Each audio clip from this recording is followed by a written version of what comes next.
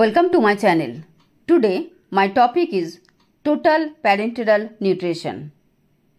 What is TPN? How to prepare it? What are indications to use TPN? What precautions to be noted regarding TPN? Actually, TPN is indicated when there is impaired gastrointestinal function and contraindications to enteral nutrition. TPN is required for some conditions like abdominal surgery, chemotherapy, intestinal ischemia, small or large intestinal obstruction, gastrointestinal bleeding, etc.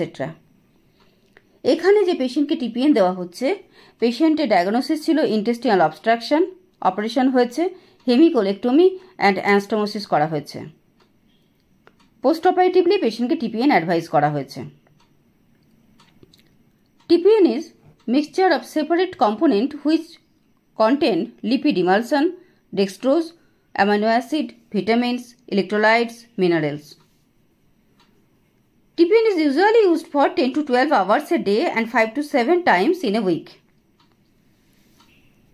এখানে three chamber bag TPN পেশেন্টকে administer করা হবে it will be in mind regarding TPN do not store above 25 degree centigrade and do not freeze also এখানে পেশেন্টকে যে TPN দেওয়া হচ্ছে almost one five zero zero M L and thousand kilo calorie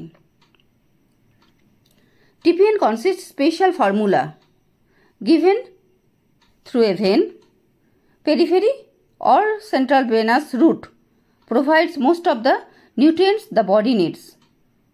The method is used when someone cannot or should not receive feeding or fluid by mouth.